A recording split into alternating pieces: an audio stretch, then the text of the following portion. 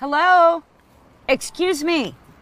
You're sleeping in my parking spot? So would you hurry along, please? My apologies, ma'am. It rained last night and, and I'm still cold and wet. I'm just trying to clear my head so I can. I really don't care about your sob story. Get out of my parking spot. Yes, ma'am. I'm sorry. I'm sorry. I'm, I'm. This city is going down the trash hole. Ma'am, is there any way you can spare a dollar so I can get something to eat? Are you seriously asking me for a dollar? It's just I haven't eaten in two days. I, I don't know. I thought it was worth a shot. I, I, Shot. You know what? Why don't you get a job? Give it a shot. J O B. You ever tried that before? my mother got sick and I had to quit my job because there was no one else to take care of her. So I had to take care of her, and, and now I lost What my I- job and I lost my mother. So I'm supposed to feel bad for you because your mother died? How do I even know if you're telling me the truth? Even if she were dead, why should I feel bad? I'm sorry, ma'am. I was just trying to explain my situation. Maybe you could go inside of your office and see if there's any leftovers from your company's kitchen. Maybe you can bring them out for me to eat oh, something. So you want me to take food out of the kitchen in my office and bring it out to you? Are you kidding me? Look, I am never going to be out of a job and I'm never going to be homeless. So you're on your own, okay? Bye. Oh, good morning, Karen. I hope you had a great weekend. Oh, I don't have time for chat. I am hungry. Did you get that breakfast I asked you to pick up? Right, yes. Um, well, I was going to tell you actually that your favorite coffee shop is closed on Mondays, but I did go to Starbucks and I got you your Uh, favorite. Yeah. Uh, you went to Starbucks? You think there's a one in a million chance I'd even eat that junk? Oh, I'm sorry, Karen. I was just trying to get your coffee. Okay, you know what? One more word, and I'm going to have you fired faster than you can say Starbucks. Got that?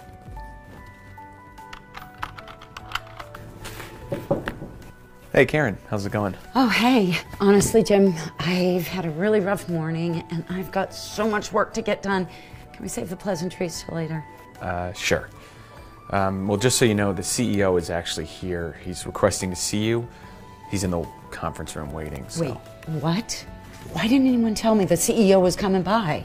I, I don't know. I don't think anybody knew he was coming. He kind of just popped in. I guess he likes to check in on local branches to see how things are running. So. Well, I hate surprises, but I give it my best. Okay, cool. I'll let him know. Okay.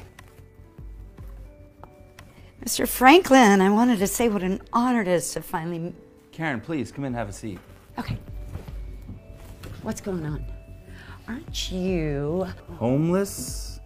Oh, I used to be, but I'm not anymore. Okay, but you were just out in my parking spot sleeping and you were wearing ratty clothes. Is this some kind of prank or something? Am I going to be on one of those television shows? Unfortunately, you're not. So, what is going on? Are you really the CEO? Because if you're not, I have security in this building and I will be calling them unless I start getting some answers. Okay, Karen, just settle down. I'll explain, okay? Five years ago, before I started this company, I had a job that I had to leave to take care of my sick mother. But when she passed away, I became homeless for six months, and no one would even look at me. Oh my. But with the help of a local church, I was able to get back on my feet. And at the local library, I was able to have access to a computer. And with that computer, I was able to build Franklin Technologies to the company that it is today. Ah, I didn't know that and I don't know what to say. But why were you pretending like you were homeless then? Well, because even though I'm a successful businessman now, I haven't forgotten where I came from. And so I like to go around to the different branches every year to test my managers. Oh, So, you were testing me. That's right, Karen. And unfortunately, you failed. And you know what? It would have been bad enough if you just ignored me. But by berating me and judging me when you thought I was homeless, that's not in line with this company's values. So what? What are you gonna do? Unfortunately, Karen, I'm going to have to fire you. Your behavior is unacceptable for this company. Fire me? You can't do that. I mean, okay, so who are you gonna find to replace me, hmm? Well, I spoke with your assistant Jill earlier this morning, and she seems to be more than willing for the job. Jill?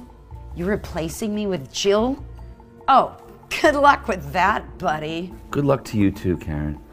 If you could just get your stuff and please leave the premises before I call security, that would be great. Whatever.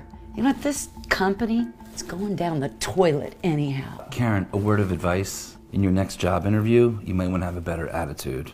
Oh, shove it.